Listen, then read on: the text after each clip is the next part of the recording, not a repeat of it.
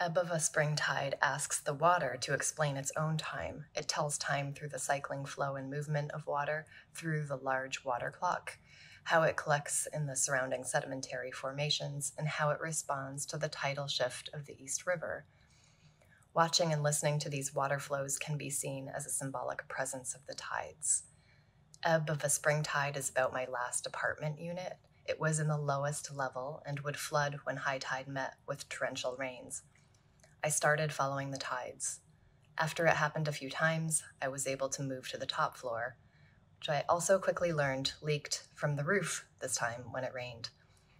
The sculpture's form is based on a dream I had at the time a building built with a scaffolding frame with steps and tiers to compose the water element, like a deconstructed apartment building collecting water in its crevices with doors to nowhere and ladders to nowhere in continual repair.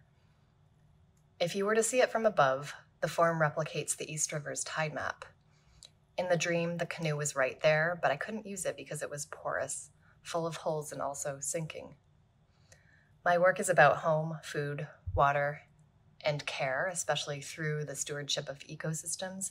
Here, I wanted the sculpture to show what could grow when more and more lands are inundated with saltwater intrusion. As the East River expands and as storm scenarios change in a city with prevalence of more storm events. All these plants are salt tolerant and some thrive in salt water.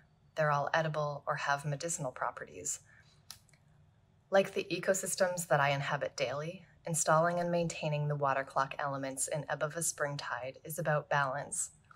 While it acts like a machine, it's also organic and needs to be tended to with patience and diligence. I believe when a human made ecosystem is small enough to comprehend, it opens up more opportunities for care. It's possible to see how and why something may not be working, and then work with it to find the balance.